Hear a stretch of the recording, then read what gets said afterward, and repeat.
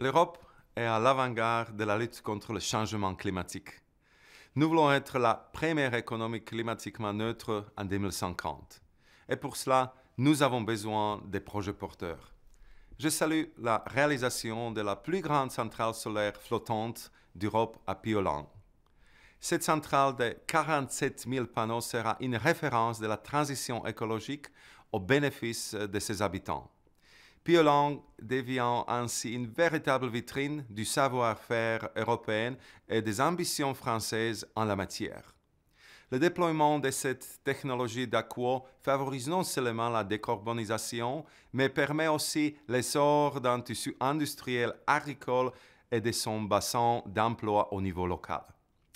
Je suis particulièrement fier de ce qui est fait à Piolang et d'en être devenu un citoyen d'honneur. Tout comme les Piolensois, je compte bien continuer d'œuvrer pour une transition énergétique juste porteuse d'avenir. Encore merci et bravo.